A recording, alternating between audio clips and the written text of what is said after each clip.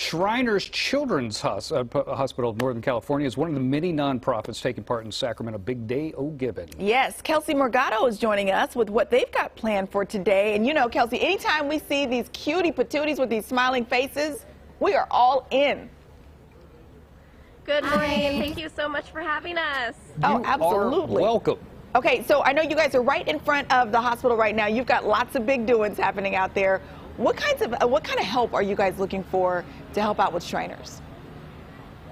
Well, on Big Day of Giving today, we're hoping that all of our community members can think of Shriners Children's Northern California.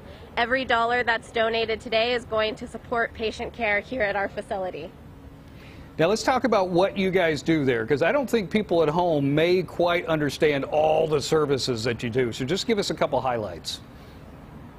Yeah, we're a specialty pediatric care hospital and we have a wide range of programs and services.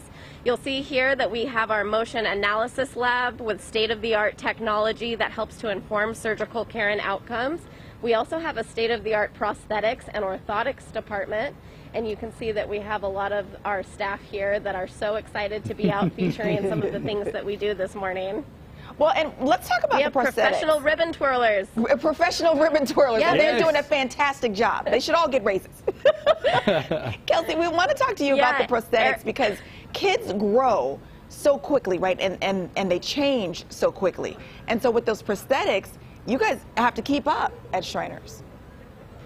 That's right. And the great thing about donating to Shriners is at the end of the day, we can always say yes to families and give them the care that they need. And many of our kids outgrow their prosthetics very quickly, and we're able to continue supporting them until they get to adulthood.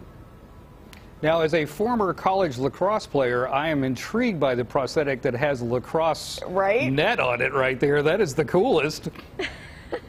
Yes, we like to be able to build our prosthetic devices where children can still participate in all of the activities that they that they love. So that can be lacrosse, that can be playing a violin. We make sure that they have the equipment that allows them to do that and to just be a kid.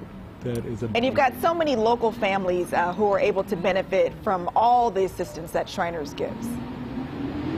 We do. We love that our patients and our families are here with us this morning. Fantastic. All right, well, we're going to link all the details uh, for, of course, Big Day of Giving to our website. You can find Shriners uh, under uh, on that website as well.